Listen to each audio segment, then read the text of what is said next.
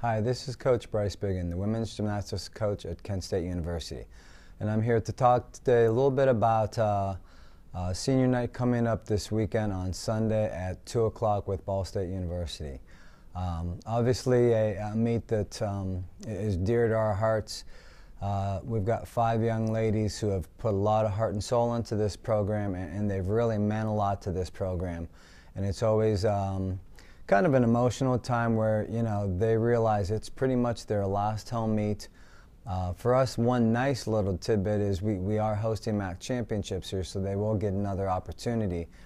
But it's also their last home meet of, uh, of their careers, and you know it's an emotional time for them, and one that um, that we're very proud that they've been you know a part of our program and the success that they have had while they've been here.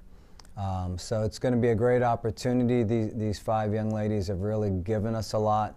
Um, you know, we're, we're going to see each one of them compete, um, hopefully the best routine of their career. Um, and, you know, once again, this is a meet where we really like our underclassmen to really understand what it means to have been, you know, a four-year letter winner on, on the women's gymnastics team here at Kent State. So, um, you know, we're, we're looking forward to it. It's going to be an emotional time, but hopefully the girls are going to keep their, their spirits under check and be able to really realize that, you know, this has been a great, great career for them. Um, great way to finish out their careers with, uh, with Ball State coming in. And then um, obviously the, the MAC championships will be here.